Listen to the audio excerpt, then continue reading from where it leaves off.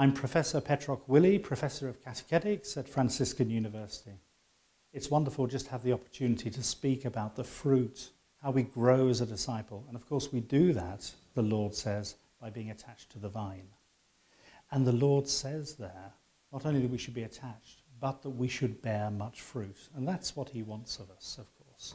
He wants to do that. And the way we do that is through the sacramental life primarily. We stay attached to the source of life, the source of grace.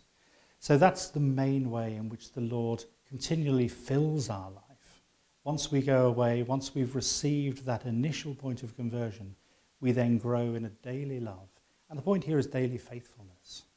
Think of it in terms of faithfulness to the three virtues growing in faith, growing in hope, and growing in love.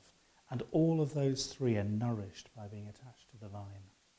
Now, in practical terms, the way we can do that, attaching ourselves to the source, Christ Himself, who will lead us to the Father, who will make sure we're baptized daily by the grace of the Holy Spirit. But the way we do that, in practical terms, is especially by exposing ourselves to the Scriptures, which of course we'll be receiving through the Mass and the sacraments anyway, and also through a commitment to study the faith daily. What the Church is calling us to do in this era of new evangelization is to take really seriously that Christ wants us to grow every day, to grow in that love, that faith, and that hope. And so we can do that especially through the gift which the church has been given in this age, and that is the gift of the Catechism of the Catholic Church. It's not a dry, dusty document to read.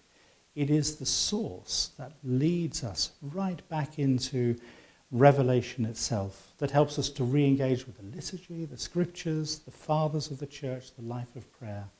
So, a daily commitment to read the catechism, to bathe ourselves in the riches that we find there, is going to be one of the most fruitful ways in which that fruit of grace can come alive in our lives.